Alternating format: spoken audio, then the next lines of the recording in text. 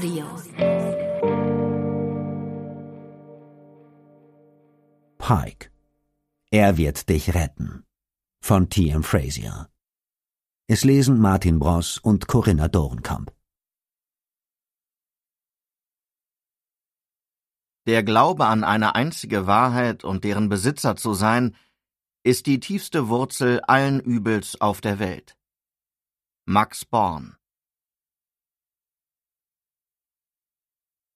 Kapitel 1 Mickey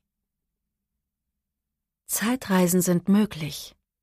Nicht die Sorte Zeitreisen per Fluxkompensator wie in Zurück in die Zukunft und auch nicht über Steinkreise wie in Outlander, obwohl ich sogar mit meinem wissenschaftlichen und faktenorientierten Verstand immer noch Hoffnung auf Letzteres habe. Aber sie existieren. Nicht da draußen in der Welt, sondern in uns selbst. Die Zeit ist eine nicht greifbare Maßeinheit, die den Stoff der Vergangenheit zusammenwebt zu einem sprichwörtlichen Quilt aus Erinnerungen, die die Zeitachse unseres Lebens darstellen. Obwohl die Zeit selbst eine Konstante ist, kann sie in bestimmten Momenten auf Kriechgeschwindigkeit verlangsamen oder sie kann fliegen wie ein dahinrasender Zug. Emotionale Reaktionen können häufig Erinnerungen auslösen, die uns durch die Zeit reisen lassen zu einem bestimmten Moment auf dem Flickenteppich unseres Lebens, der dann entweder definiert oder zerstört wird. Die Forschung ist schon niedergeschrieben, aber keine Publikation zu dem Thema hätte mich je auf meine eigene Erfahrung mit Zeitreisen vorbereiten können.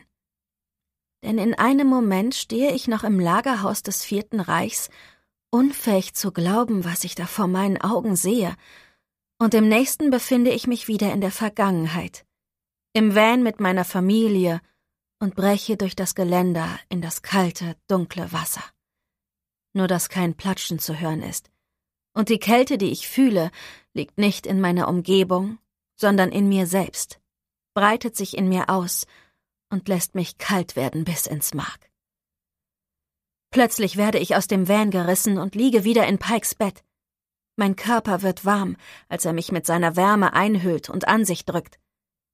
Ich will hier bleiben, an diesem Ort und in diesem Augenblick. Die Stoppeln an seinem Kinn kratzen leicht über meine Wange, und ich bin voller Reue, dass ich ihn je verlassen habe. Pikes Arme lassen mich allzu schnell los, und ich falle zurück in die Kälte. Doch dieses Mal liegt es an dem Wasser, das mir gerade von hinten über den Kopf geschüttet wurde. Ich sehe zu, wie meine drei jüngeren Schwestern zum Strand rennen, mit einem jetzt leeren Eimer und bei dem süßen Klang ihres kindlichen Gelächters. Sogar in der warmen Sonne kühlt der Wind das Wasser auf meiner Haut ab. Ich schaudere. Und weiter springe ich zu verschiedenen Augenblicken meiner ganz eigenen Zeitachse. Manche sind süß und warm, andere herzzerreißend und kalt. Einige Male finde ich mich in Momenten mit Pike wieder. Momente, die ich während der letzten paar Wochen durchlebt habe. Scheinbar nur eine kurze Zeitspanne, aber drei Wochen sind alles, was es brauchte, um mich in Pike zu verlieben. Drei Wochen, um mein Herz zu brechen. Drei Wochen, um einen Blick auf eine Art Leben zu werfen, das ich nie haben werde denn ich tat, was ich für richtig hielt, indem ich meine Rachepläne und seine Sicherheit über die Möglichkeit stellte, bei ihm zu bleiben und ihn zu wählen. Wenigstens hatte es sich damals so angefühlt, als würde ich ihn wählen. Aber jetzt, wo ich Augenblicke aus meiner jüngsten Vergangenheit erneut durchlebe, bin ich mir nicht mehr sicher, ob es wirklich das ist, was ich getan habe. Rache ist seit nunmehr fünf Jahren das, was mich immer angetrieben hat. Wer bin ich ohne Rache? Allein. Das bin ich ohne Rache. Doch in einem Augenblick, durch ein Ziehen an einem einzelnen Faden in meiner Zeitachse, hat sich der Plan geändert. Der berühmte Physiker Leonard Susskind hat einmal gesagt, Unvorhergesehene Überraschungen sind die Regel in der Wissenschaft, nicht die Ausnahme. Merke, Dinge passieren. Ich habe gelernt, mit Überraschungen zu rechnen, in meiner Forschung und sogar in meinem Leben, aber nichts, und damit meine ich nichts, hätte mich auf diesen Moment vorbereiten können. Auf diese Überraschung. Dass meine Schwester am Leben ist.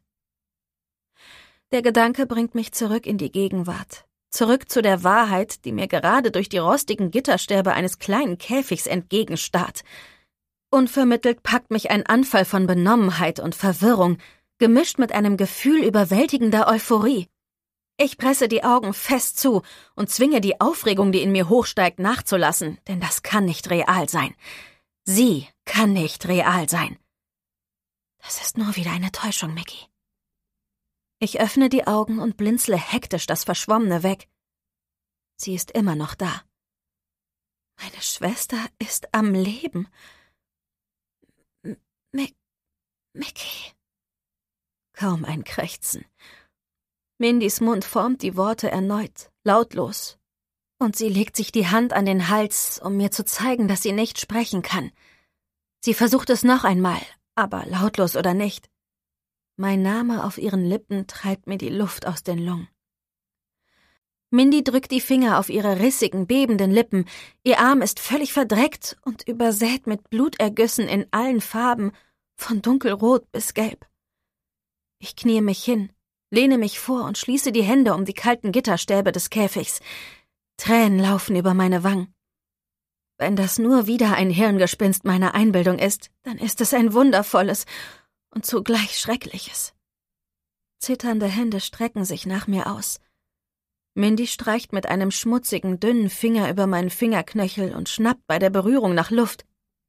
Das Gefühl ihrer Berührung erhält meine Sinne und macht mich kurz benommen. Schnell zieht sie die Hand wieder zurück, wie von einer offenen Flamme.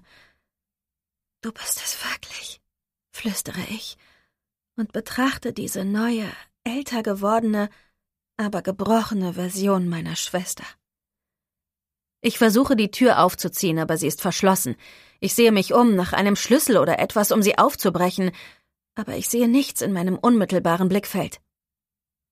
Wir müssen dich hier rausholen, sage ich. Sie schüttelt den Kopf und weicht auf die andere Seite im Käfig zurück, als erwarte sie, dass ich so unwirklich bin, wie sie es jahrelang in meinem Leben war. Aber der Grund, wieso ich weiß, dass sie real ist, liegt nicht nur in ihrer Berührung, sondern in den unzähligen Malen, die ich mir meine Familie vorgestellt habe, sie heraufbeschworen habe wie Geister, damit sie vor mir stehen und mir in der einsamen Welt, die ich mir geschaffen habe, Gesellschaft leisten. Jedes Mal erschien sie mir gleich. Gesund. Unversehrt. Ganz und gar nicht wie das zerschmetterte menschliche Wesen in dem Käfig vor mir. Meine Kehle fühlt sich dick und trocken vor unterdrücktem Schluchzen an. Ich trage die Last der Welt auf meinem Herzen, und ich fühle sie gegen meinen Brustkorb drücken und drohen, mein ohnehin schon zerbrechliches Herz zu zerquetschen. Wenn das hier irgendein Spiel ist, eine neue Art Nervenzusammenbruch, den ich noch nie zuvor hatte, dann weiß ich nicht, wie ich darüber hinwegkommen kann. Was ist mit dir passiert? frage ich und versuche meine Stimme so unbewegt zu halten, wie man es tun würde, wenn man ein verängstigtes Tier davon abhalten will, sich zu verstecken. Wie ist es möglich, dass du hier bist?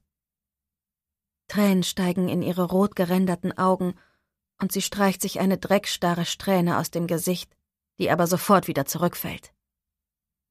Dann kriecht sie langsam vorwärts, bis wir uns Auge in Auge gegenüber sind. Sie riecht nach Kot und etwas Fauligem, aber das ist mir egal, denn sie ist real und sie ist hier.